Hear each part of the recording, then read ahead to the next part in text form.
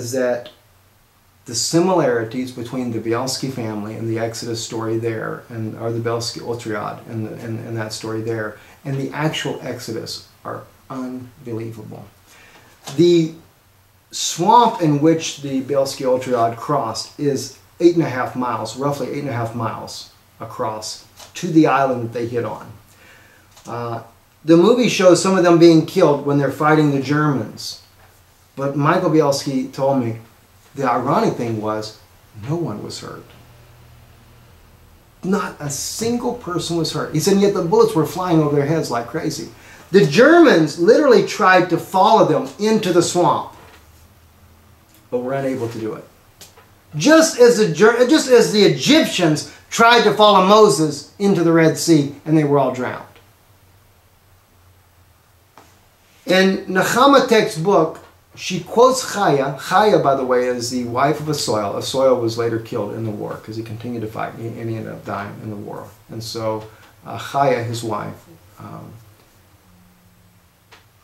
lost her husband in this war. But she's quoted in uh, Nechama Tec's book as saying, the reeds were so high. And that's what was so beautiful. Tuvia said, excuse me, Michael Bielski told me that when they were going through the swamp, he said that's what kept the reconnaissance planes from being able to be able, from being able to find 800 Jews in the middle of the swamp. They couldn't see them. They were literally hidden by those reeds. At the Gulf of Aqaba, it's eight and a half miles across too, by the way. Um, and the fact that Tuvia is referred to by the survivors as their modern day Moses, so many things that it was just mind boggling. Um, and the rabbis, as I began to talk to different rabbis, uh, rabbis that I knew personally, uh, Rabbi Minkowitz for one, Rabbi Minkowitz, he, he, he said, I can agree with the fact of Jeremiah 23 uh, as far as Yam Suf being the Gulf of Aqaba, and I'm not sure. Um, but one rabbi in particular, Rabbi Mendy, uh, uh, a rabbi down in Bonita Springs, Florida, he brought out an interesting point to me when the story, when we first began to speak about the story together. He said, You know, I can really believe this to be true. And he said, You should know as well as I do what really gives a lot of strength to this story is what Moses says in Exodus 15. Now, I'm going to, to read to you Exodus 15. Shemot is the chapter, uh, or the book, excuse me, the book we're going to go to and look at this. And um, this is something I write about in the book, and I think it's important uh, that you may find very interesting as well. Because it gives strength for, for several different things that God has opened my heart to to understand. In chapter 15, in verse 1, it says here in the English language, Then Moses and the children of Israel chose to sing this song. Now, it doesn't actually say the word chose in the Hebrew language, but that's how they translate it. Uh, I don't know why they did that either. Let, let, me get it for you in the Christian Bible, it'd be better. Um, yeah, no, it doesn't say anything about they chose to sing the song just says they sang this song. Let me just read it to you here. Then sang Moses and the children of Israel this song unto the Lord. And spake, saying, I will sing unto the Lord, for he hath triumphed gloriously. The horse and his rider hath he thrown into the sea. All right, now, in Hebrew it says, Az Yeshia Moshe, Moshe, Uvene Yisrael et Hashira.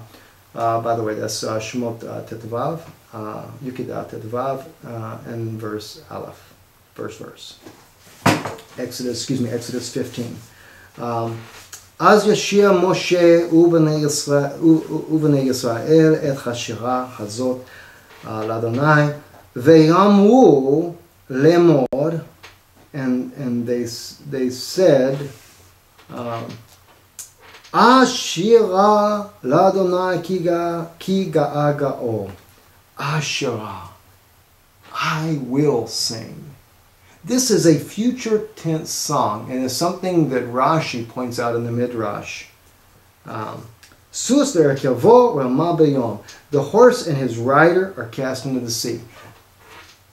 I didn't say anything to Rabbi Mendy at the time when he said this to me, but immediately, the first thing that come to my mind when I read this here, and as Rabbi Mendy pointed out, he says, you know Rashi says, I will sing unto the Lord, is a future tense song. It's a song of redemption that's yet to be sung. Now, Rabbi Mendy, if you ever happen to watch this video, let me share with you something from the Christian reading. And uh, it's the same corresponding chapter, which makes it even more ironic. If you go to Revelation chapter 15, it says, And I saw another sign in heaven, great and marvelous, seven angels having the seven last plagues, for in them is filled up with the wrath of God. Hmm. And I saw as it were a sea of glass mingled with fire, a final exodus. And them that had gotten the victory over the beast and over his image and over his mark and over the number of his name stand on the sea of glass having the harps of God. And they sing the song of Moses. Wow. Now it's interesting that they sing the song of Moses, and it doesn't mention that Moses is there. But if he's killed as one of the two witnesses, he's not supposed to be there. This isn't the last part of this Daniel 70th week. They sing the song of Moses, the servant of God, and the song of the Lamb. Wow, what do you know? They recognize who Mashiach is and who's the one that teaches them this song? Moses does. And who does he teach? What does he teach them when he returns? Who Mashiach is. And of course, any Christian knows that Lamb is Yeshua HaMashiach, uh, Jesus the Christ. Great and marvelous are thy works, Lord God Almighty. Just and sure are thy ways, thou King of saints. Who shall not fear thee, O Lord, and glorify thy name? For thou only art holy. For all nations shall come and worship before thee, for thy judgments are made manifest. Now, notice his judgments are manifest. He's about to judge that Antichrist. And as Moses points out here, Asherah Ladonai Kiga Agoo Sus Berekyavo Ramabeyom. He's cast the horse and his rider into the sea. What about the 600? What about the other 599? Why does Moses sing about only one and he speaks of it as a future tense song? because Moses comes back along with Elijah to challenge Satan when he's incarnated in the Antichrist. And his horse and his rider, the rider that Satan chooses to use, the Antichrist, the horse, you know, that's why God brings all nations down to Jerusalem for battle. He's bringing them to judgment. So the United Nations forces will go right down with it. Mm, wow. Interesting times that we have here, but it's one of the great mysteries that God revealed to me when I was looking at the story of the Bielski family. The different things that began to come out of this, just absolutely remarkable. Um, and and, and as, as God began to reveal to me this, then I began to understand more. Just let me share with you some more things here. We have a little bit of time because two parts on WBN TV. Uh, so let me just share with you a few more things here that God began to unravel in this story. There is one part of Exodus that has just been an interest to me that I'd like to share with you. Um, and this is when God is speaking to Moses. We find it in the third chapter, and uh, let me just get in here and get where he is.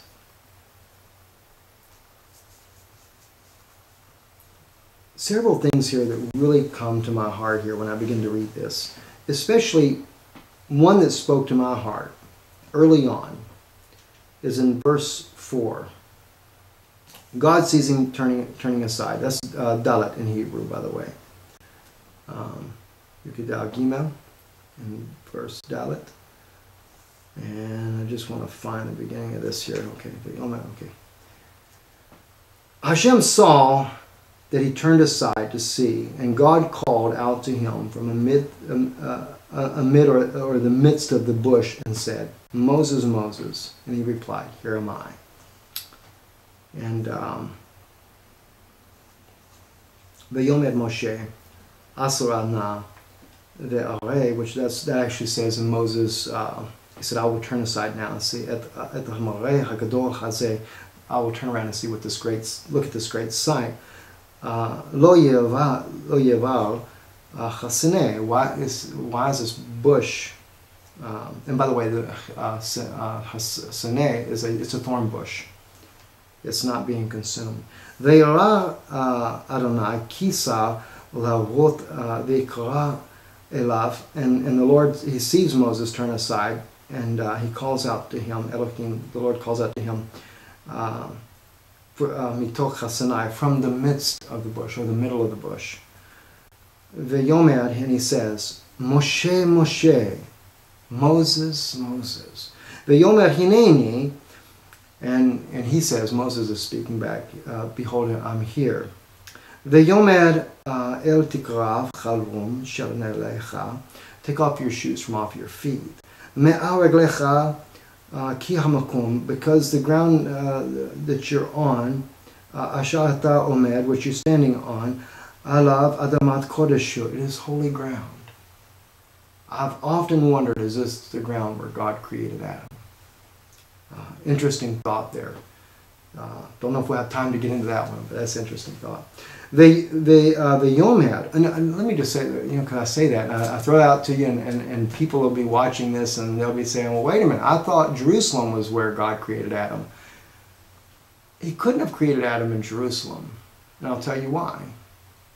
Because the sacrifice was offered in Jerusalem. It is believed that this is where Cain killed his brother at. If that be so, then we know they were outside of where the garden was. I do believe, though, the Garden of Eden is in another dimension. I believe that the river that flowed from Eden to the garden, which was in the east of Eden, was in another dimension, even from the dimension that Adam and Eve lived in. Because the scripture clearly says that the river flowed out, Yotze, Min Eden, flowed out from Eden, and watered the garden in the east of Eden. Now, if the garden is in the east of Eden, how could, why then does the river have to flow out? Makes you wonder about the rock that Moses smote, which the Caldwells have a beautiful picture of that. Jim and Penny Caldwell on their website, uh, splitrockresearch.org, I believe is their website if you want to look at that. Beautiful mammoth 60 foot tall rock. And uh, in fact, I'll shoot it over an email uh, this evening. They, they did tell me I could have permission to use it as long as I, we, we, we let people know. I always let people know where sources come from because it's important. Uh, uh and they have a beautiful picture of that rock there.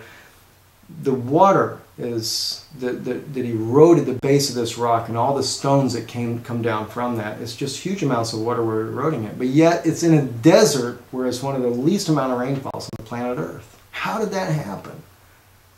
Now, I've never asked the Caldwell specifically, but I, do, I would like to ask, where's the hole in the rock? I believe like it was with the water that came out from the east of Eden, I believe the water come from another dimension. No wonder why their clothes and shoes didn't wear out. Imagine washing your water, washing your clothes in that water. Imagine drinking that water. No wonder why Moses' strength had not abated and he was 80 years old when the Lord took him.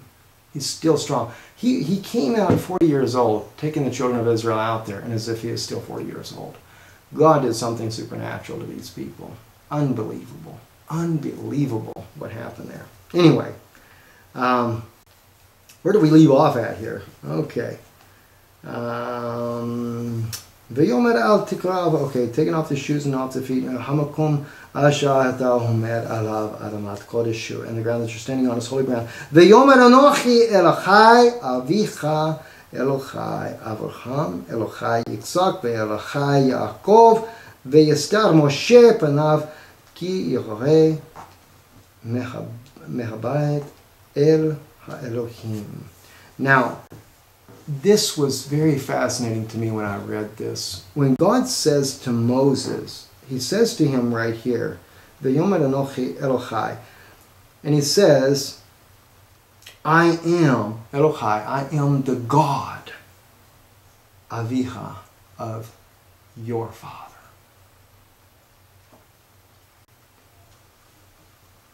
I could not help but think that Moses always battled who his father really was.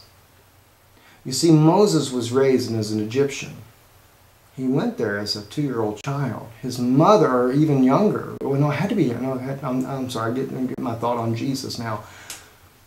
He was still a nursing baby when he went to the house of Pharaoh. Jochebed, his mother, who was his wet nurse, still, what child remembers, you know, if he was weaned, say, at the age of 18 months or so, how would he ever remembered who his family really was? But yet there was something in him that he knew, but he wasn't sure. Especially after he slays the Egyptian and he runs into the wilderness and goes to the land of Midian. He must have just totally forgot about his people.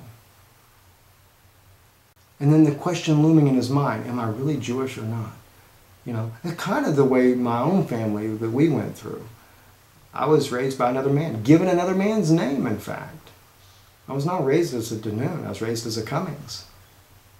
And until I was like 14 years old, I never knew any different. And my sister was the first one. My sister Laura was the first one to ever tell me, Your father is not a Cummings. Then I found out that my father was Ronald Danoon. And my, uh, you know, then I'm troubled, you know, like Moses, you know, you, you, you, you just don't know then. You're not sure. Find out when I'm in my 20s that my mother was Jewish. My grandfather said they didn't want anyone knowing they were Jews. They kept it secret in the family. Said because of the persecution our family faced back in Germany that we went through and came to the United States illegally to escape the persecution of Jews there and my own father's side of the family. You know, many there's very few Danoons in the United States. It's very, very uh, small number of people here. Yet there's a lot of Danoons in France, in Canada. All of those are Jews. Well, then why did our family become such a small one? The Inquisition caused them to convert to Christianity. So I can relate to this particular passage when God says to Moses, I am the God of your fathers. Oh, excuse me, I'm the God of your father. Doesn't say fathers in this case. He just says to him, I am the God of your father. And then he says, let me just find it here again for you so you can see it. V'yomer anochi Elohai avicha. I am the God of your father. Elohai, I am the God, or the God of Abraham, Elohai Yitzhak, Yaakov. Now he knows he's Jewish. Now he's met God. And the first thing that God does with Moses is confirm his identity.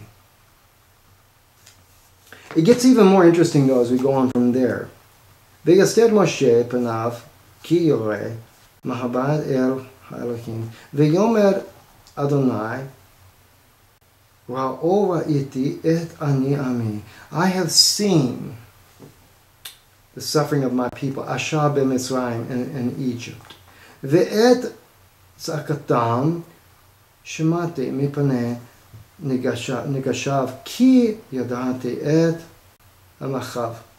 Okay? God, you know, He's seeing what Israel is going through. And um, the afflictions that the Egyptians are going through. And he tells him that he will, he will, he said, I will, I will come down and I will deliver them. Um, find my place again here real quick.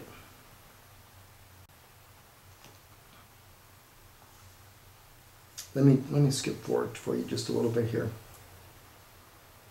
If you go to verse 11, because God is telling him all about what's going on, the oppressions that they're suffering, they're under the bondage of Pharaoh. Uh, and in fact, if you just just for for a point, because we're talking about the Bielski story as well, the Jews of Belarus were under anti-Semitic leadership for nearly 400 years. That is a historical fact. They were put into ghettos in Belarus. I forget exactly when, not in the beginning of their time, but they were put into ghettos more than once because of the anti Semitic rulership, just as the Jews were put into slavery under the Egyptians. But they weren't put in slavery as at first. They were put in slavery about, I think, about 200 years into their 400 year time down in Egypt. Um, but anyway, we get to verse 11 and it says, um, Ve'yomer Moshe el Elohim, and Moses says to the Lord, Mi anochi ki elecha, who am I? Um, who am I to uh, oh, to go to Pharaoh uh, El Paro? Ve'ki otzi et bnei Yisrael in Mitzrayim, or to deliver, or, or that I should take, yeah, to deliver the children of Israel from the land of Egypt. Ve'yomer ki imach. I love that. I love that verse right there. God says right here, Ve'yomer ki um, ki imach. I will be with, and he said, I will be with you. Imach. Veze lach ha'ot, and this will be a sign for you. Ki anochi shelachatecha b'chustecha. Take the stick that's in your hand and cast it on the ground. Mm. For a sign now. Ha'ot, for a sign. Mm. Blessed be the Lord. Wow.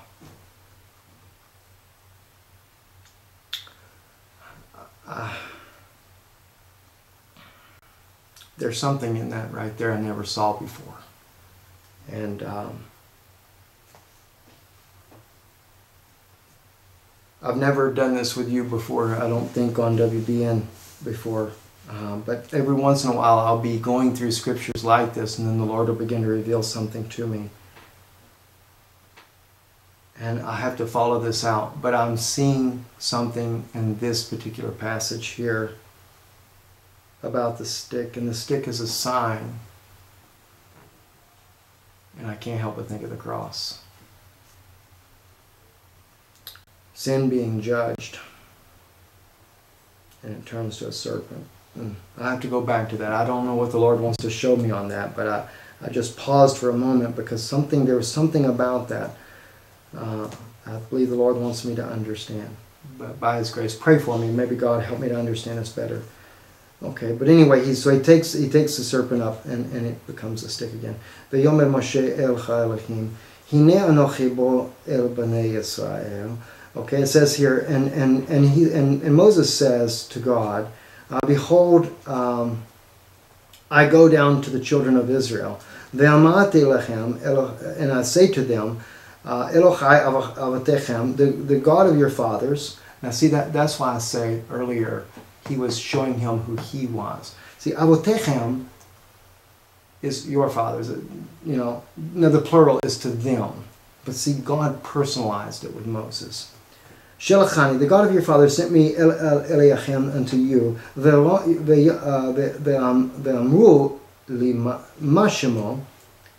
They will say to me, what is his name? That's another one that has really, really been struck my heart was this right here. That is the same thing Israel will do when the two witnesses come on the scene. The first thing they're going to do. You claim let me let me just say something to you guys. I saw in one of the videos we did that series recently on on the two witnesses, and um, somebody was so kind to take up for me a little bit there, and they said, you know, Steve, you know, God has anointed you to teach these things, but it also brings out all the false prophets along with it. So there are so many people claiming to be Moses or Elijah. I get emails from everybody you can possibly imagine. And, and I don't mean any disrespect to the guys and, out there that believe you're this or that, or if you believe that he's already come or whatever the case may be. No disrespect to you. But let me just share with you one thing. If you believe that you're Moses or if you believe that you're Elijah, then you have to know God's divine name. And I'm not just saying make up hocus pocus and say, oh, yes, his name is actually this or his name is that. And I don't say that you have to know it right now. But when you go to present yourself to Israel, you will have to know it. Because Israel is going to ask the same question. And it really kind of got me about that. Why did Moses even say that in the first place? They will ask me, What is his name? They know there's only one God, but they're going to want to know what his name is. And so will it be today. And I know the Jews how they are. They're going to tell you straight up, you come to, you know, you're coming in the name of a prophet, but you, you, you better have your act together. And if you know anything about the Jews for Judaism, very, very intelligent rabbis. These rabbis didn't just fall off the pumpkin wagon, as we say in the South. You know, and if you try to come to them and say, you know, well, we prayed for the sick and the sick got well, or we raised the dead and everything, and we prophesied in the name of the Lord, let me tell you something about that. They're not just going to take anything just because you say you prayed for the sick and the sick raised from the dead. Okay? They, they know about miracles, okay? Israel knows about miracles, including the raising of the dead, okay? So you have to understand that. God is with Israel and does tremendously mighty miracles for Israel. I mean, even though they don't want to, to discuss the Israeli, uh, the 1967 Six Days War, uh, because they said it's statistically impossible for it to happen or for any of this to actually there's just no way the outcome could have, could have happened the way it did. It's divine intervention. Um, even the muslims the, they're fighting against